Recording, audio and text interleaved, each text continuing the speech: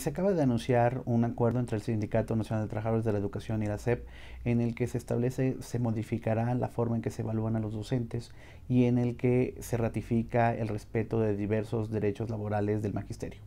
No sabemos aún cómo se va a hacer la modificación de la evaluación. Sin embargo, el acuerdo eh, viene después de semanas de movilizaciones, no solo por parte de la disidencia magisterial, sino también en entidades eh, donde la parte institucional del sindicato tiene eh, la principal fuerza. Lamentablemente, en las críticas que se han vertido hacia la reforma educativa, nos hemos olvidado de que el verdadero talón de Aquiles de la reforma tiene que ver con el problema de la corrupción. Por supuesto que hay un problema mayúsculo de equidad, de oportunidades educativas y de calidad, pero estos se explican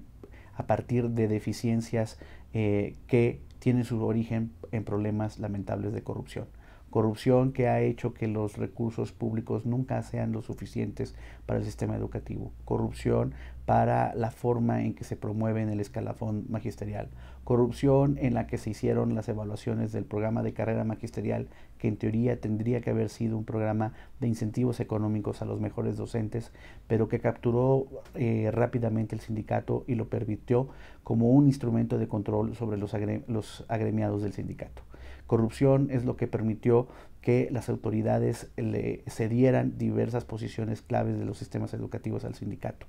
Y la corrupción es lo que ha permitido tolerar el recurrente ausentismo magisterial en algunas entidades del país, dañando la calidad de la educación y el aprendizaje de nuestros niños, pero ratificando la obtención de canonjías económicas por parte del magisterio. A estos problemas se le han agregado eh, omisiones graves y errores por parte de la autoridad federal y de los estados en la implementación eh, de la reforma educativa.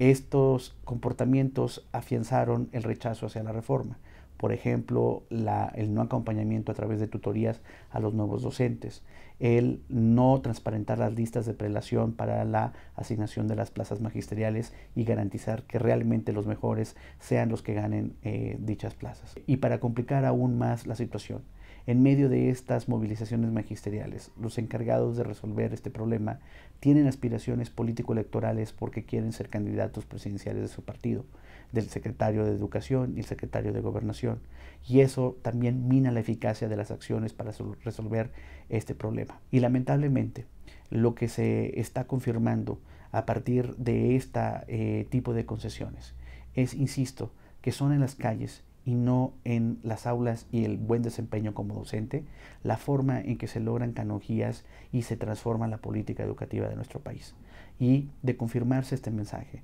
el derrotado no es solamente el gobierno, sino lamentablemente el principal derrotado es la sociedad, porque se mina la posibilidad de ir realmente extirpando el cáncer de la corrupción para ir construyendo calidad educativa, porque al final de cuentas los intereses organizados mostraron el músculo político y empiezan a minar la implementación de la reforma educativa.